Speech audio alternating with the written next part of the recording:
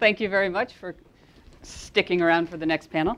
Um, in this panel, the, um, the name of this panel is kind of provocative. It is um, Environment and Energy and Innovating in the Belly of the Beast. And we have three people who've done a lot of innovation within the government.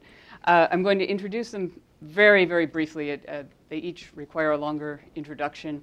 Um, and, uh, and then kind of get started into the discussion of, of what they've done and, and what their thoughts are about how you innovate from within the government. Um, uh, at the end here is uh, Margaret Davidson. She's director of the Coastal Services Center at the National Oceanic and Atmospheric Administration.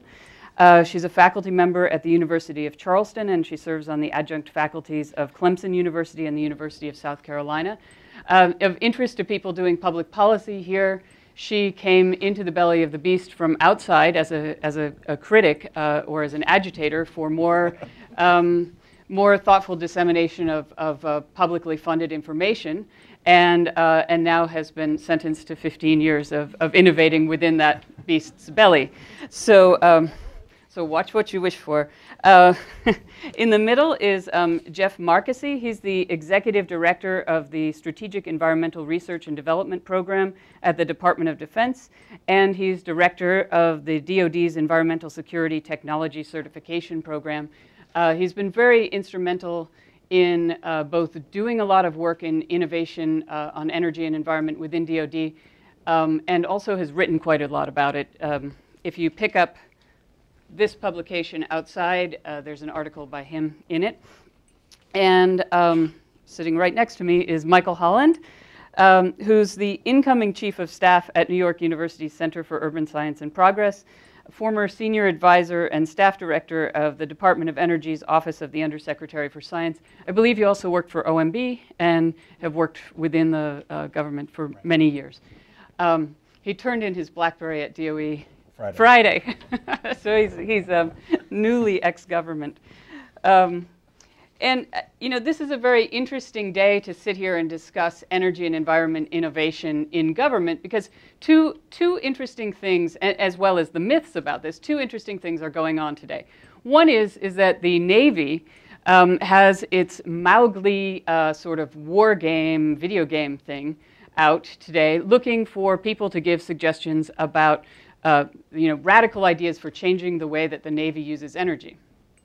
Um, and the other thing is, is that the House Armed Services Committee is holding a hearing today. Uh, I'm not sure how far they've gotten with this, but they would like to ban the Department of Defense from using biofuels that cost more than the market price for uh, fuel. So th this opens up, you know, as we're talking about myth, this opens up a whole bunch of interesting questions. First of all, with regards to Double M Mowgli, the, the, the video game, you know, is it ideas that are needed for innovation or is it systems? Is it, are we just in a free floating search for radical new ideas, new molecules we can plug in, or do we need to do uh, something completely different? Do we completely need to change ourselves in the way we work around these things? And I think this panel really addresses some of these questions. Um, the other thing has to do with this uh, House hearing, which is, you know, is there a free market price for fuel? Does, does uh, does fossil fuel actually have a free market price that reflects its actual price? And secondly, does the Department of Defense pay that?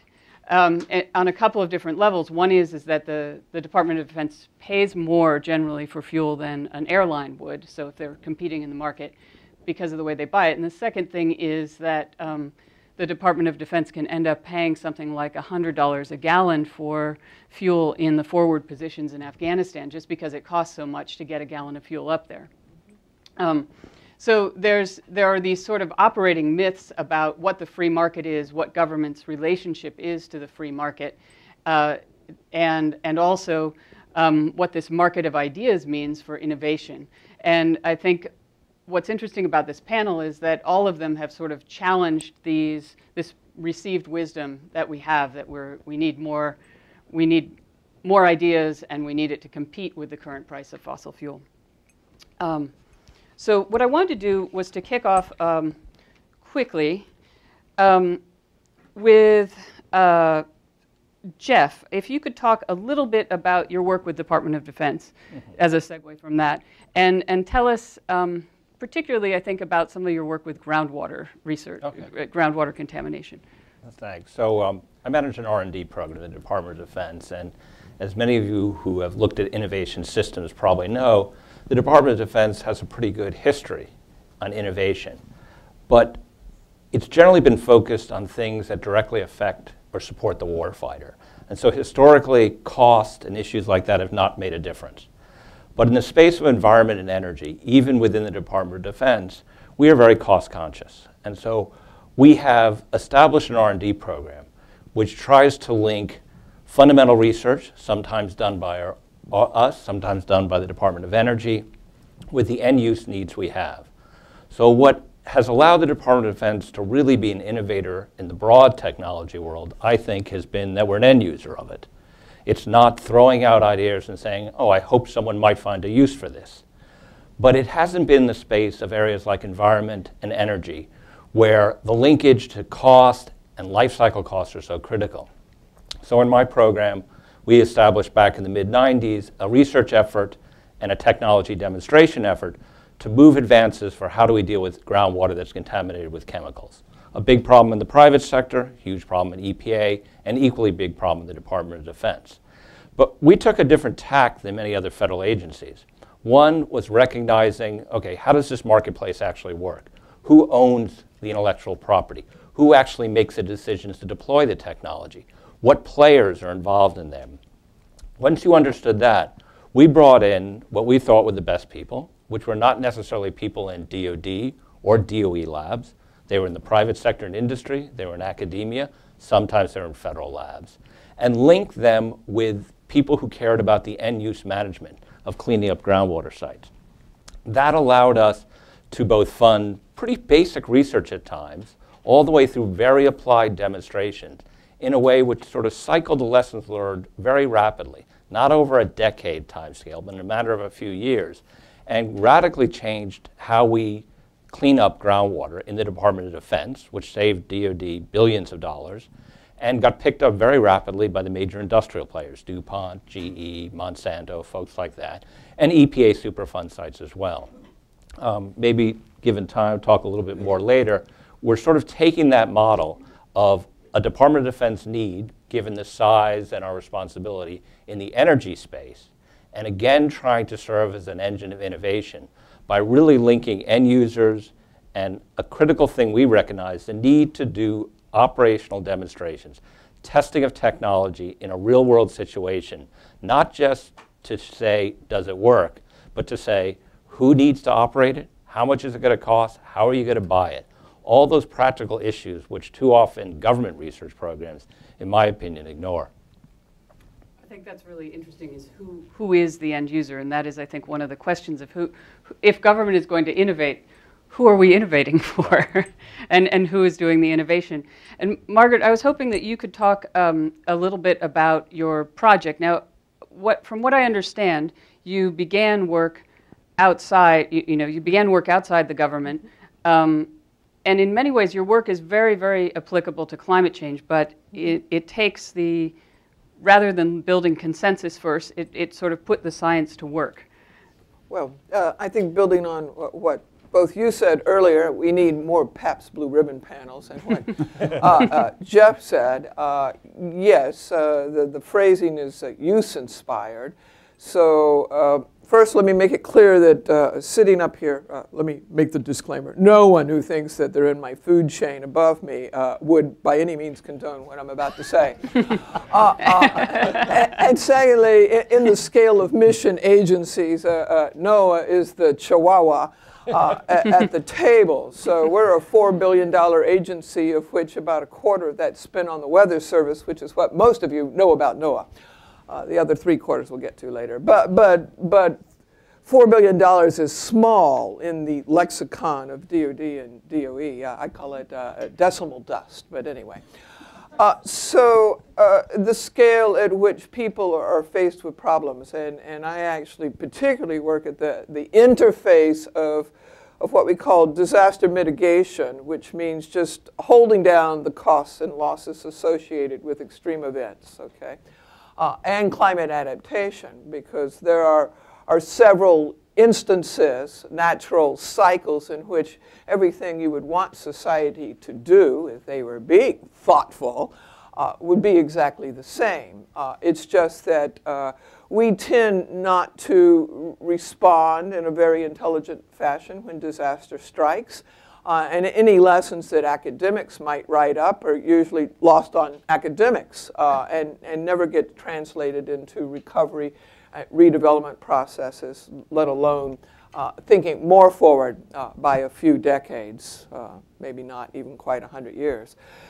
So so I'm, I'm interested in that interface, the twofer uh, interface, because when you work at a very small scale of resolution, the fellow before us talked about municipalities. So, so when it comes to land use, local government is everything. That's where all the planning, zoning, building decisions get made. Uh, in fact, we still argue whether or not there is a federal interest in land use planning. I would submit there is because there's a federal interest in maintaining our economic livelihood.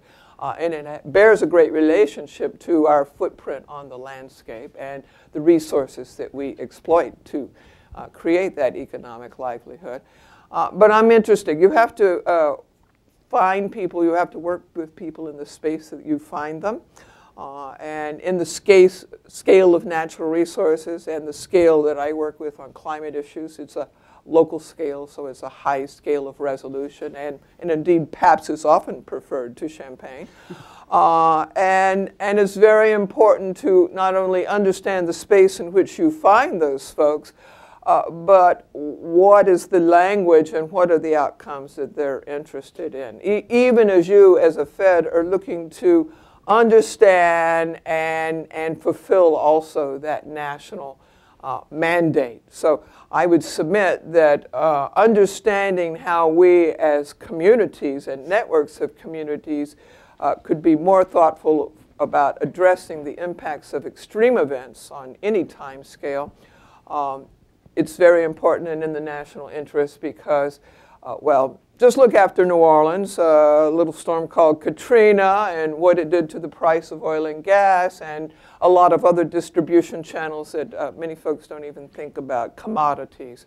It had national and international implications. If I can interrupt, I think what's really interesting about the website that you and your team yes. have developed is that you've taken years and years of climate data yes. and enhanced its resolution so that you can, you can be in Baton Rouge, or you can be um, in Cape Cod, I think, and you, you or, or in California, and you can look at it and you can figure out what is going to happen to your town as the climate changes. You can, you can anticipate some of the potential big events so, so some folks in this room uh, probably work a lot with big model projections. Uh, we're, we're, using little model capabilities, and we're also using a bunch of freeware. Mm -hmm. uh, so you could go in, for instance, and uh, you mentioned uh, Cape Cod. Uh, that was actually one of the first places we worked with the Cape Cod Commission.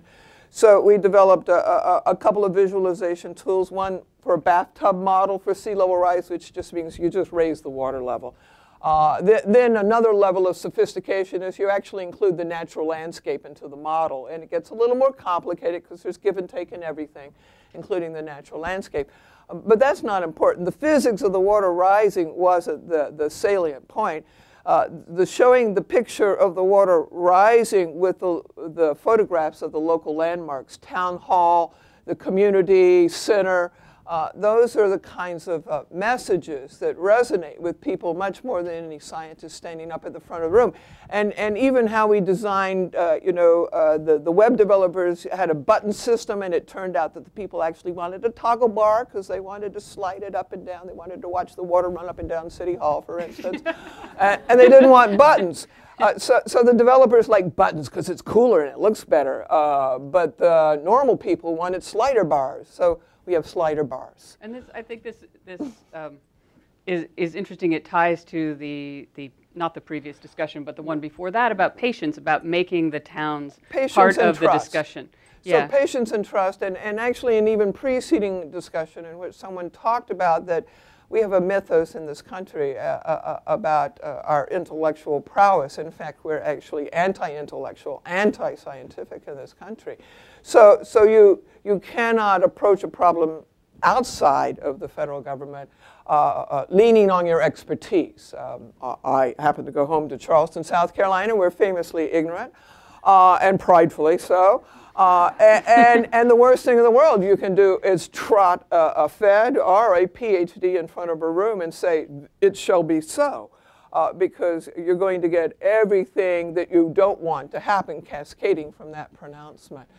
Uh, so so I, I work from the other end of the problem. You know, uh, uh, how, how do you address the people where you find them on the landscape with the issues uh, that they're most concerned about, and then you embed uh, the knowledge, you embed the technology, you embed the capabilities into their framework, not import your framework into theirs. I think that's a good segue to, thank you, uh, that's a good segue to talking to you about what you've um, been working on at the Department of Energy and, and the possibility of a cascade of everything that you don't want to happen happening. Um, so, uh, which is not a reflection on the DOE, it's more just a reflection on, on what happens when uh, an institution has an investment, a long-term investment in certain technologies that aren't panning out over, over many years. Um, one of the things that you worked on was the quadrennial technology review. So this is uh, the, the QTR for the DOE was a, for the, the Department of Energy was a new thing, and it was based somewhat on uh, the quadrennial defense review. So you took a, a uh, an idea from another segment, took it over to DOE, adapted it for your purposes, and then if you could talk about what it was, what it did, and what it was meant to address. Okay. So um, the the quadrennial uh, technology review was the first part of a process that uh, the President's Council of Advisors on uh, Science and Technology uh, recommended. So taking the idea from uh, the defense world that you actually start with your strat, your defense strategy, and then you identify what uh, uh, sort of what what you would need to carry out that strategy, and then you sort of backtrack uh, into the resources that you need, and that so you should start with your problems and derive resources. Uh, and that uh, you take that idea, you apply it over in the energy realm, which is a much more complicated uh, part of uh, the federal policy sphere in the sense that uh, the authorities are divided among many cabinet level agencies, among many independent agencies. So while the name over our door is Department of Energy, we are actually, we don't have many of the regulatory authorities that are uh, necessary or, or predominant uh, in the energy arena. So Interior has uh, the authorities for uh, resource extraction, the Environmental Protection Agency has the authorities that, uh, that control emissions into air and water, uh, many of the emissions into land. Um, there are other parts of uh, the, the government that regulate particular technologies, the Nuclear Regulatory Commission, for example. Um, you know, we're in the energy realm. We're an R&D agency. We have a little bit of authority uh, for regulating appliances, and so in in trying to put together what i what this mythical thing that many people say they want, a national energy strategy. They basically said this is a complicated exercise. DOE, you go and take your little piece, this sort of what can be nicely hermetically sealed, the R&D programs. Try to at, at least figure out a strategy for those. So the tradition oftentimes has been to Can I just ask Sure. you, how much money does DOE have for energy research? Oh, um, something less than um, four billion. So it's our fourth. You can compare that to the cost of cleaning up the Gulf spill, but yeah. Correct. Well, also the, the energy R&D is our smallest business line of the four. So nuclear weapons is by far our largest. Um, environmental management, and then the research, the scientific research programs, and then energy is the smallest. Um, and, and so we we we took this uh, the, these four energy R&D programs, and and basically. Uh, did something that was dramatically different than what the norm is. N- normally, each of those technologies, and we support somewhere in the order of 15 or 20 of them, you develop an individual technology roadmap for each, you sort of staple them together, and it is left to others to infer what your priorities are. Uh, we actually decided to do the reverse. Start with the public policy drivers, start articulating what the constraints were upon the energy system, those that we controlled or those that, which are very few, and those that others control, and then start sort of putting further and further constraints on what the energy R&D programs ought to do. And so we sort of derived some very uh, general policy statements about how you ought to make priorities with when uh, spending R&D money to attain a public policy goal in the energy arena. Can you give us examples? So um, we came up with uh, a, a, set of rules um, that uh, essentially uh, research ought to be material, uh, that in the sense that if we are going to invest in a technology, it should have the potential to at least uh, affect the energy system at the, say, the 1% level. So we set our sights very low. We use about 100 quads of energy in this country a year. And so if we're going to develop a technology, it, it, ought to have, it ought to at least have the ability to make a difference at that level. Now, if you look in our portfolio, there's a lot of stuff that we do that has the uh, potential to impact at the tenth of a percent level or the hundredth of a percent level. Because either the resource is so small, even if you maximally exploit that resource, it still won't make a difference, even at a 100%. So that's the kind of stuff where we can say, you know, in tight budget times, if you're, you know, solve big problems, not small ones. Um, the other thing is that if it's a technology that even if it does work, perfectly acceptable, perfectly functional technology, if you can't build a business around it and sustain it without perpetual federal subsidy, that's probably not a thing to invest in. If you also, part of building a business around it is that there are other things in the system that are, that are dominant in determining what you'll make, not just whether it works, but will the capital markets fund it? So the, we have decades of, of history showing that sort of the outer limit of the tolerance of the, tech, uh, of the capital markets is somewhere in the, you know, eight-ish billion dollars or even five billion. And once a thing gets bigger than that, the resistance in the capital markets skyrockets. So for example, if, if fusion energy were to work, if we can get the tokamak to work, it's coming in at 25 billion. So even if it works, there is very small, if not zero, probability that the capital markets would ever fund it. So why don't we take that money and deploy it somewhere else? Or in the nuclear energy arena, uh, for fission reactors, the, the very, very large Gen 4 reactors, uh, again, face that same hurdle. So we're actually redirecting the nuclear energy program towards small modular reactors. You can pop out one at a billion, billion and a half. You get that up and running, it's generating cash. You put in the next one at a billion, billion and a half.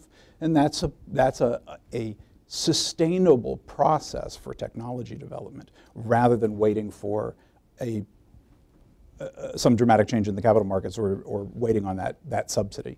So one of the things I think that's interesting is that in, in doing this work, you discovered some of the um, agents of homeostasis within the sort of funding system. Mm-hmm. You know, things that kept the fusion program being funded. Can you talk a little bit about that? And then I want to open out to the two of you to talk in more about what what are the sort of agents of homeostasis in within government? What are you what do you need to work with, work right. against, or, or, turn to your advantage? So, uh, I mean, you know, we've we've basically discovered, you know, 50-year-old political science research. Uh, in, in essence, is what we've done, um, and that is. Uh, so, uh, you know, the, the, the, the shortcomings of bureaucratic politics are well known to everyone except for physicists and engineers.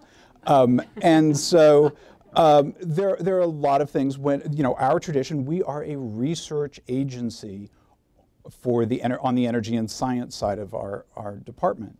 And so we, we start thinking about where the research opportunities are. And so there, there then becomes the uh, equity issues, right? So one group of scientists is not going to send another group of scientists away empty handed. Um, that is just a flat out impossibility. And you can see that behavior not just in the Department of Energy, but you see it in the National Science Foundation, you see it at NIH, et cetera. That is just a core behavioral aspect of, of research agencies run by researchers. Um, and, and uh, there are other aspects, um, the, you know, uh, distributional politics uh, take over. We have a very hard time uh, mounting rational, uh, compelling arguments against distributional politics.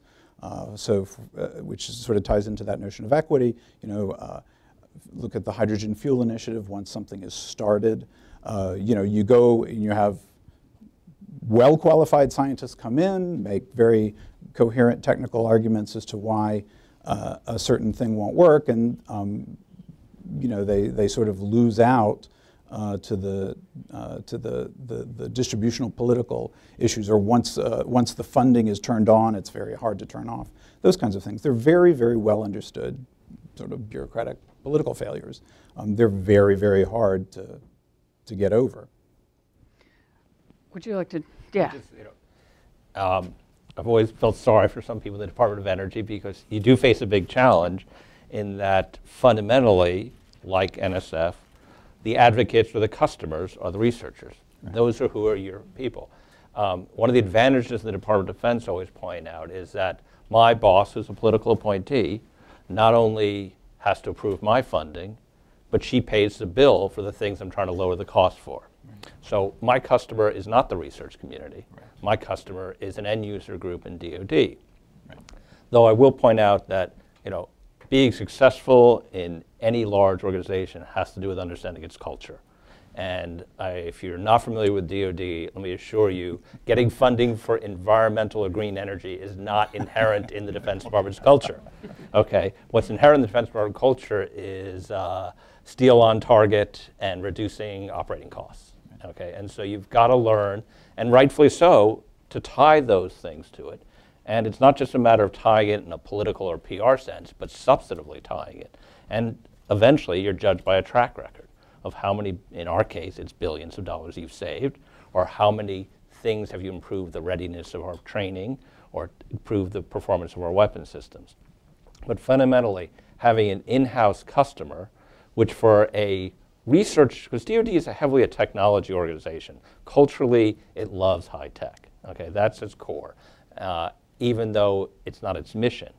But having embedded a research organization or a technology organization in a heavy mission organization who sees its survival based on advanced technology is an advantage that other agencies really don't have in the federal government. Yes.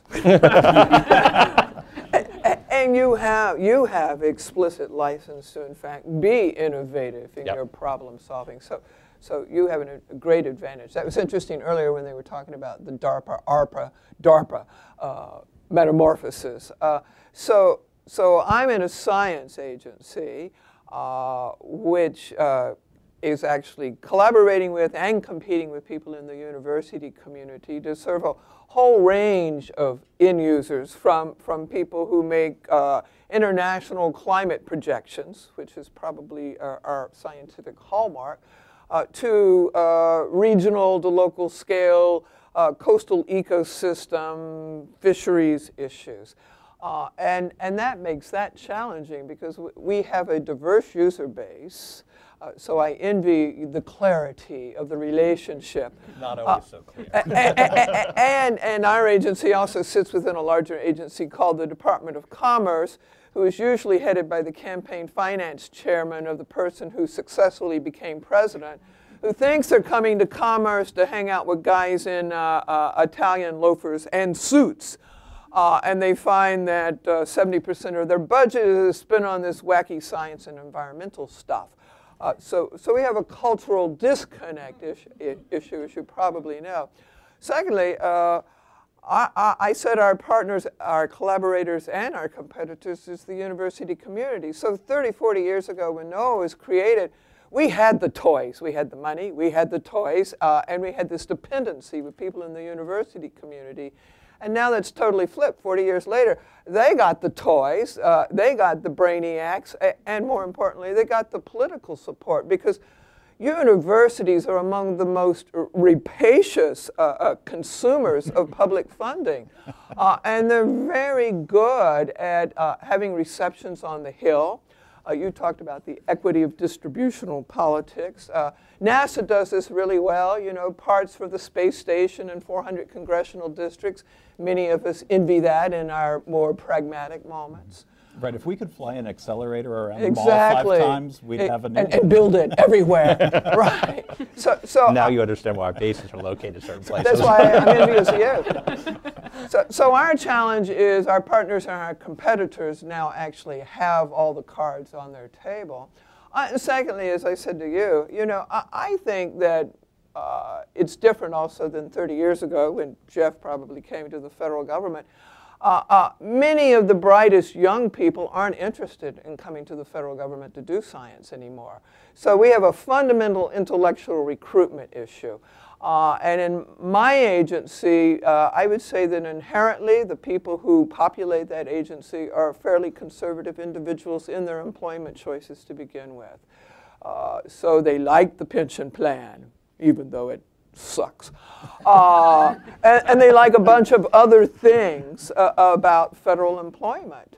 Uh, and I'm not sure that that in itself is always the most conducive environment uh, for innovation because what ecology teaches us is the most innovative parts of an ecosystem are at the edge where there's the greatest amount of tension and turmoil and fermentation. Uh, and everything about fed life is to keep you in the road you know, in that lane, observing all those yield signs.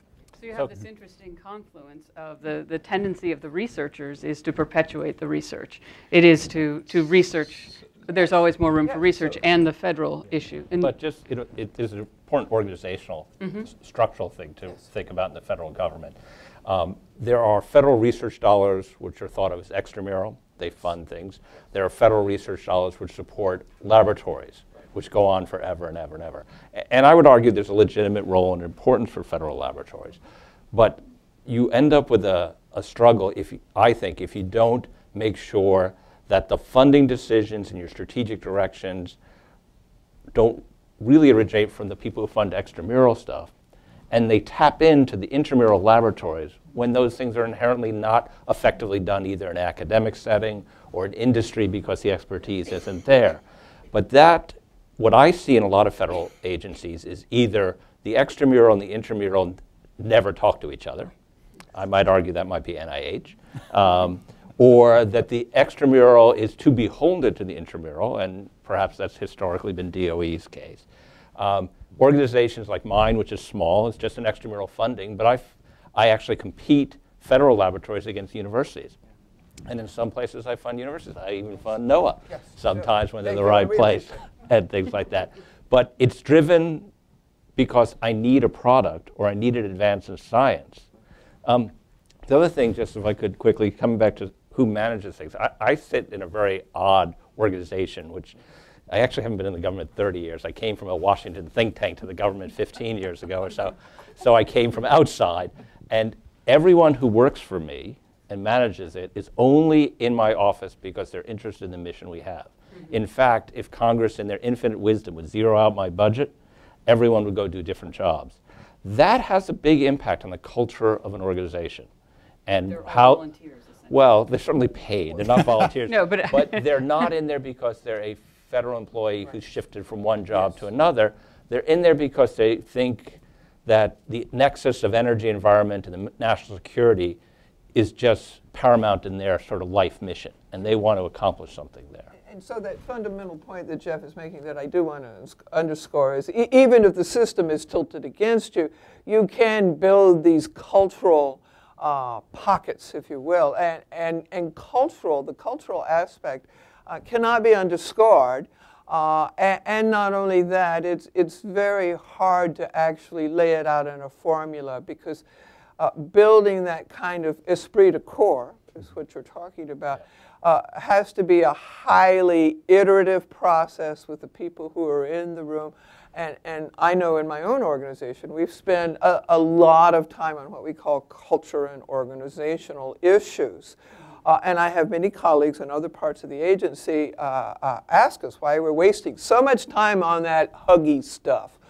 Uh, but it's because exactly that. I've had people tell me that if they didn't work with us, that they'd actually leave the government because it is that that those people want to be on the edge of innovation and creativity and breaking new paths.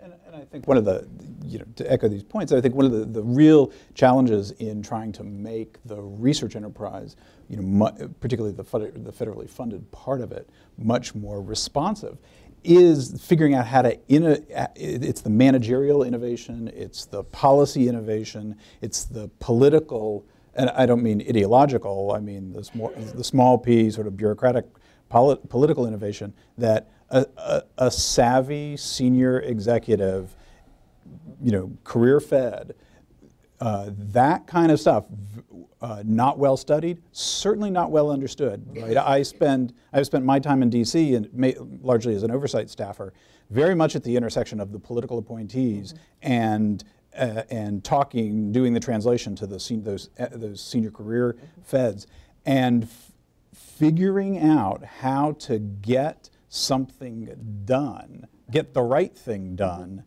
is grossly underappreciated. And when you encounter uh, uh, an SES who really understands not just what needs to be done, what to avoid like a plague, and the, tr the trickery that it takes. Uh, in fact, one of the great things that you always want to do is you want the front end to look as unchanged, unchanging as, as humanly possible, and you want all the innovation to sort of pop out as mm -hmm. if mm-hmm. by magic at the end. Right. Well, that doesn't yes. happen in reality. What that means is that it's you very carefully plot how you make your how you make the change and, and tie these you know tie analogies that you know, oh, this thing is absolutely in no way, shape, or form different than that thing that you're already comfortable with but you dig into the details and it's totally different, right? And, and that's exactly how you get stuff And address the OMB. subversive part. It is subversive, and since it used to be at OMB, and address the OMB budget weenies oh, yes. need for quantitative metrics, even when you're seeking qualitative outcomes.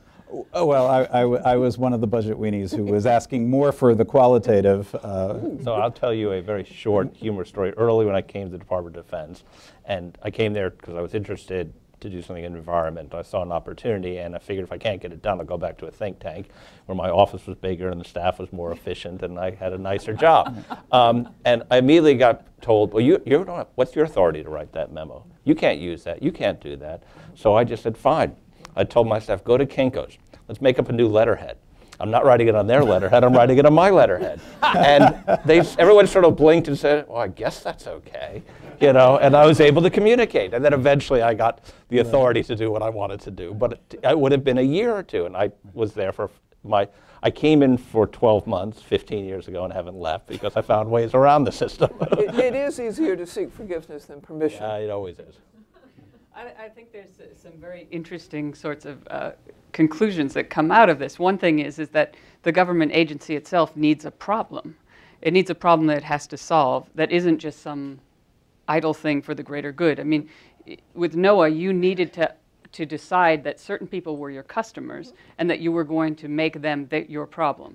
And in your case, you, the DoD had a bunch of problems, but you had to kind of label them as problems. And and with the QTR, you also had an issue of of saying.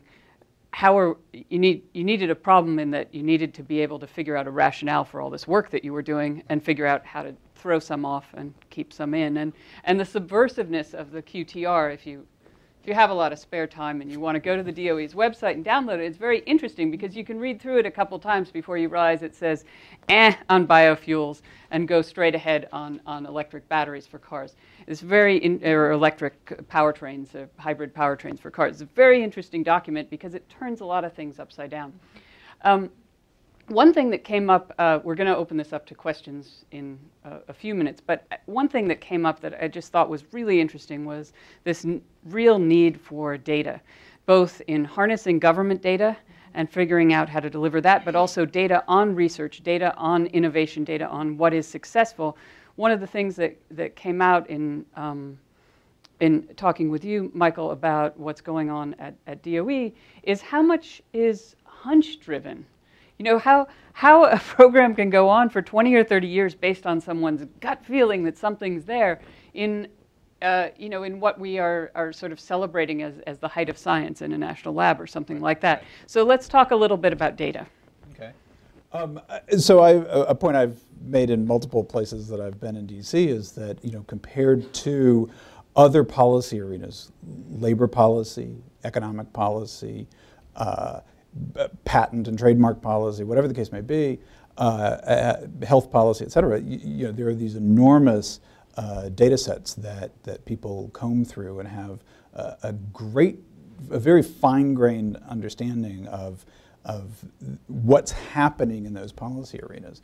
Uh, in research policy, uh, which I'm sort of constraining to the, you know, how we spend this 130, 150 billion dollar a year that we spend on research, um, it, there is very, very, very little data. Um, and um, it's, you know, it, at its core predicated on expert opinion and expert guidance, you know, very talented people coming in and sort of sensing where the opportunities are. Um, but the amount of research we're doing is vast, and so there's uh, at a point there's only so much that you can anybody can get their heads around, and so um, you know, even the basic statistics of how we move money out the door um, at, at an agency. Uh, the one and only one that I know that does that with an enormous degree of resolution is NIH, um, where they have a, a well-defined set of, of mechanisms and you, each institute sort of racks up uh, what their spending is against that standard set of mechanisms. Uh, and, and you can, you know, someone could though they don't necessarily do, then start tracing that, that through. Um, when I tried doing it, that at the Department of Energy, I, I, sort of know with budget resolution, sort of how OMB, the president, and Congress, where they put the money in the pots. And then when I try to follow it uh, at the back end, how it moves out the building, I have to go to a different part of, of the department. And, and they report it totally different resolution, about four or five big lumps, and that's about it. So trying to understand how a, a, a, you know, an expenditure is tied to an outcome that we ostensibly care about is extraordinarily difficult. Um, and uh, I, you know, the, the, the, I, I think the uh, desire that people have to solve that uh, is is not terribly great. I mean, if you are an expert, um, it's a heck of a lot more fun to be, to, to be unconstrained by, well, data. so um, I would disagree with your statement about, you know, being able to trace funds. I, I will state, and I'm happy to prove it offline, you could do that for every dollar we spend in my programs. Um, I do remember a GAO investigation in the late 90s when they came to me. They were investigating environmental management R&D at DOE, and and asked me, you know, can you do this? Can you do that? I said, yeah. I said, I assume DOE can't, because otherwise, why would you be asking me? And they said yes. Right. Um, but the problem comes about when you go to the macro scale of R&D investments, and that's, and you know, fundamentally, you know, people fight for resources in the government, not at, the, at least in the Department of Defense, not at the macro scale. There are top line budgets and stuff and a top line budget for how much S&T is going to be invested for the Army, the Navy, defense wide, how much of this. And then it's just, you know, you know, hand-to-hand combat. And it's really just convincing people that, you know, you've got an issue that either politically or technically or economically needs attention. And so there is no analytic work on dividing dollars at the higher level. So there's no motivation to aggregate that data. Well, so, so, one of the problems we have is we don't even, uh, at the bare basic one, you know, a lot of people up here on the stage have been talking about basic research and applied research.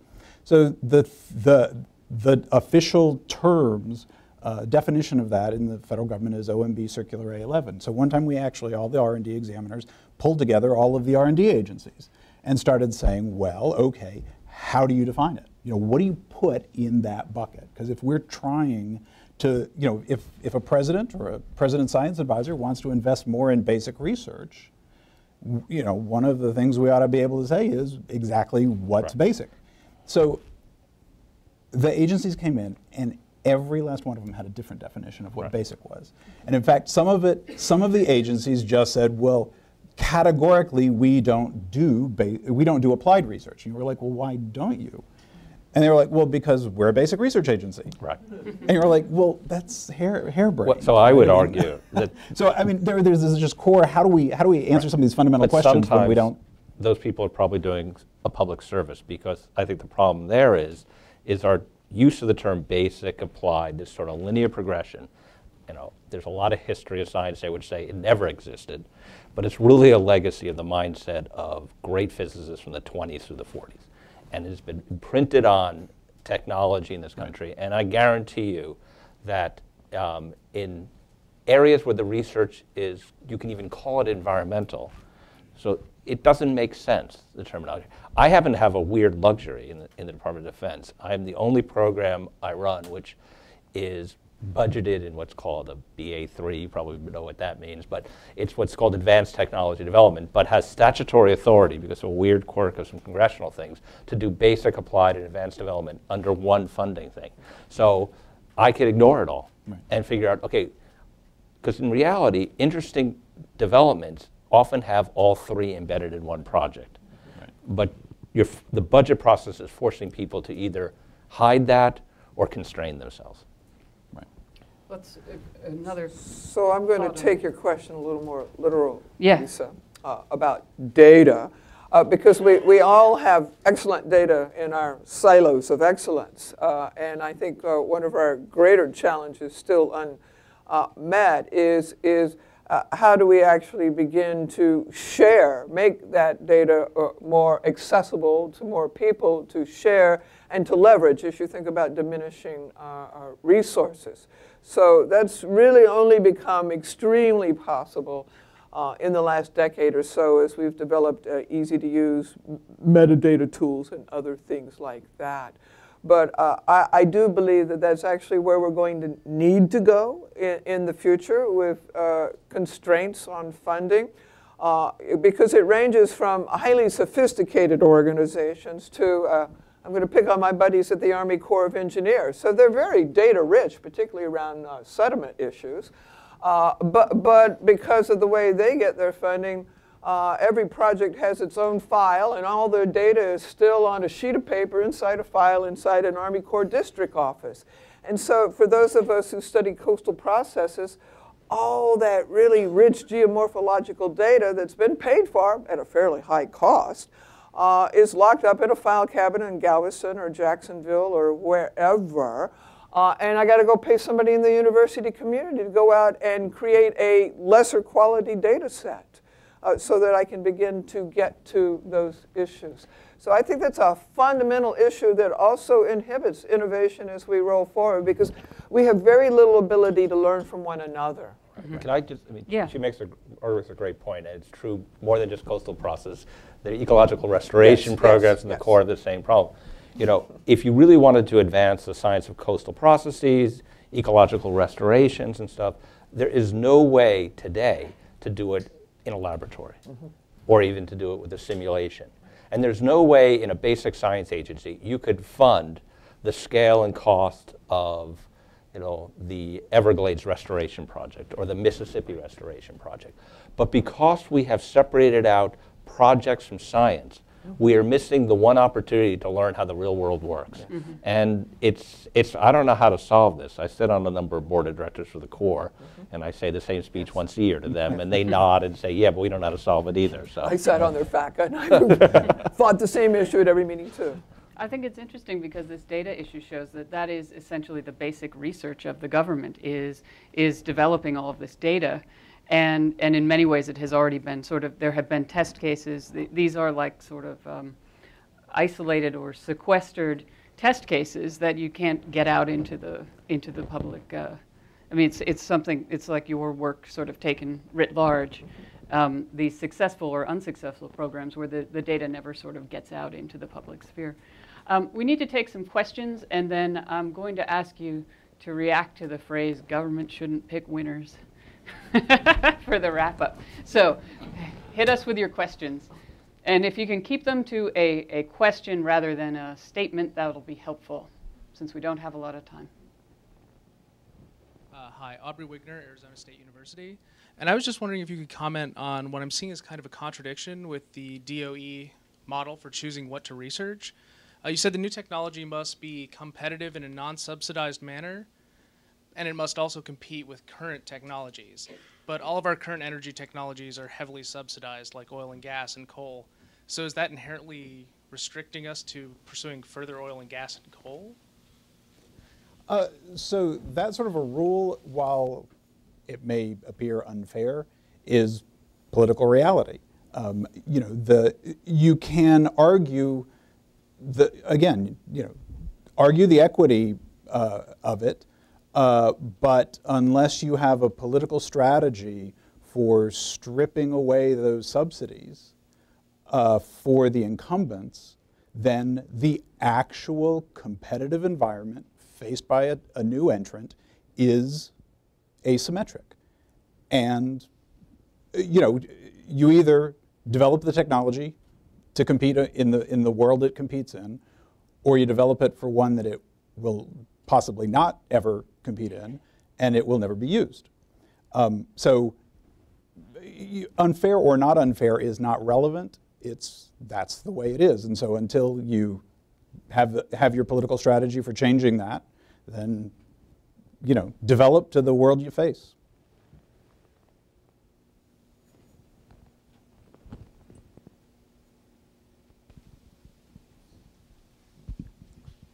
If I could follow up on that, um, there was when you mentioned. Could you identify yourself? Oh, John Lawrence. When you mentioned the tokamak as an example, if I had to think of what a what a uh, private equity firm would describe as a disruptive technology, that's it. And so, if the government isn't the one who's going to spend money to develop a disruptive technology that has potentially huge externality savings that are not taken into account in current market pricing, then who is going to make the kind of radical change that this conference is trying to discuss and think about? So, I, I think uh, having having done as much oversight of federal R&D programs as I've done, um, I'm just unsympathetic to that worldview. Um, the, the reason we are spending public sector funds is to solve public policy problems. And the lack of technology or equity among technologies is not something I believe is a public policy problem. A clean environment, uh, clean affordable energy, uh, well-educated kids, uh, you know, a secure retirement for the elderly. I think those are public policy problems that need solution. The, the notion of equity among technologies is not something I will sign up for. And so disruptive technologies have to go through multiple other criteria. There is a technical criteria, there are financial criteria, there are regulatory criteria, there's public acceptance criteria. If there are waste issues, you got to solve those before you launch them. There are all sorts of things. But the notion of disruptive technologies considered in isolation is not something that I think it has a, that there is a public policy uh, justification for. I think it's an interesting flip of the innovation sort of paradigm that, right. that innovation means, uh, you know, it's to take the Moneyball uh, metaphor, it's, it means finding like the most amazing picture. Whereas if you look at, at the book Moneyball and the team, right. what you're actually doing is you try to figure out how to optimize your funds right. You for want, the greatest. You, you, you, want you want to win hit. the game, not yeah. just so, maximize them. Because I actually have used the Moneyball analogy a number of times with people in DoD. I mean, there are two approaches, and I think you have to pursue both in R&D funding. One is you know, as I say to friends, I've made my living hitting, you know, doubles, and you know, uh, it keeps my average up, and I get lots of money by doing it. But you do want people hit, hit swinging for the fences sometimes, and some. What you want to do is segregate those into different funding organizations. I think that's what ARPA is trying to do. To some sense, it's DARPA, where you're trying to have a disruptive technology, and it will not. You have to give a lot more freedom to it. The concern I have sometimes is it's easy to just get enchanted by that and think that's all you have to do. And in fact, in the energy space, one of the reasons it's so difficult to do it is with the exception of a few type of technologies you can think of, we're not actually talking about improving any competitive advantage in terms of a business. You're talking about either decreasing externalities or bringing something in for lower cost. And so how that works with this disruptive approach versus the more moneyball approach, let's call it, is, is complicated. But I think you need both in some sense in the government. Okay, I think we have time for one more question. Okay, it's more of a political question. Um, SERDP has been a extremely successful program, not just technically, but uh, in terms of public relations, politically, uh, in spite of the fact that it's easily parodied. You know, green bullets. So how can you, you know, yeah, all right, that, in spite of that though, all right, so, so with environmental work, you guys were successful politically. With energy, where Rommel's experience would tell you, yeah, diversification of energy sources is important, you're getting hammered. What happened? Um, okay, me, so I mean, I do think SERDP has been successful. I'll actually point out um, the last week's Saturday Night Live in their weekend update highlighted one of our projects. They didn't, you know, they, it was a funny bit. It's actually a useful project. They didn't recognize it as SERDP. That has been the one thing that's impressed my children about my career more than anything else. Um, but we were successful in, so I would, so we were the only environmental program during the Bush administration whose budget went up that I know of, okay? And it was because we were very careful how we described it. And we were completely honest. But we didn't talk about the externalities. We talked about the defense mission. I think when you're in the Department of Defense, we're getting a mixture of praise and criticism on the energy front. Um, I don't think anyone who's knowledgeable, and there's wackos out there, so we'll put them aside, criticizes us about the need for energy efficiency at the front lines, for energy efficiency at our installations, for the Marine Corps deploying photovoltaics and things like that out in Afghanistan. What we're getting hammered on is the biofuel issue. And I think, you know, they have, you know, happy to talk offline about that, but tying our investments to the clear national security mission of DoD. There's a broader national security mission in this country, but DoD has a large part of it. And I think that's where they're having trouble convincing people right now. All right. So uh, I want to wrap up this panel. It's been a very interesting and free-flowing discussion. And what I want you to do, the, the, the, sort of the rallying cry is government should not pick winners. Can you give me kind of a, a quick reaction to what that means? Well, we've talked about this offline. Yeah. So uh, when I've worked with other agencies, particularly EPA historically, they very, we can't pick winners or losers. You know, we, it's not our job. I've always, in the Department of Defense, have a job to pick winners or losers. And I tell my boss, if I don't have a reasonable batting average, you should fire me and hire someone else because I'm trying to solve a mission. It's very hard, though, for other federal agencies, if they're not an end user of the technology, to do that. Um, we are able to do this in a variety of areas in energy, environment, and I would argue we're working with NOAA and stuff, going to start looking at how do we adapt to climate change on our military installations. Mm-hmm. And again, we will pick the approach we think is right. We're not going to say other people have to use it, mm-hmm. but we'll certainly use it inside. So I do think organizations have to pick winners and losers. You have to be careful about the politics of it. And for a number of reasons, DOD is immune to getting criticized for it. And how about those who are not immune? Uh, well, I do appreciate that DoD is immune to lots of uh, uh, challenges that the rest of us face on a, a daily basis. So uh, I work with programs that have regulatory functions associated with them. So, and I used to be a lawyer, so uh, I'm very clear that you have to have a, a, track record about how you treat information and you treat uh, individuals and permit applicants. You, you at least have to have a clear and defensible record. Uh, I actually personally tend to agree with Jeff. At the end of the day, there is always a winner and loser. Uh, if you're a public sector person, you'll probably talk more about the winners and a lot less about the losers. Uh, and, and I think the, a great quote that goes with this. Uh, so I don't know why physicists tend to be some of the most active political scientists, not as political scientists, but politically oriented scientists. But there was this guy named Einstein who, who did say, Good, we got the quote in on this. yes, yes, yes, exactly, that, that politics was so much harder than physics. So I think that's what our jobs are about, right? We, we work with physics, but we're really having to be mindful of politics in order to let the physics or, or the biology advance. All right, so last comment. So, you know, uh, to me, um, you know, you shouldn't pick winners and losers. Sort of is the the battle cry of distributional politics, where uh, you know everybody So wants. it's- It means, pick me, I'm a loser? o- oftentimes, not absolutely, but oftentimes. Well, now, And EPSCoR did well. so no, no. So, well, uh, not. It, so Ep, EPSCoR was motivated by distributional political concerns. that doesn't mean they're losers, but it, it is certainly, uh you know, that's that's part of the motivation. I think as long as you know you focus on what the public policy problem is that you're trying to solve. What is that goal that has motivated a public expenditure?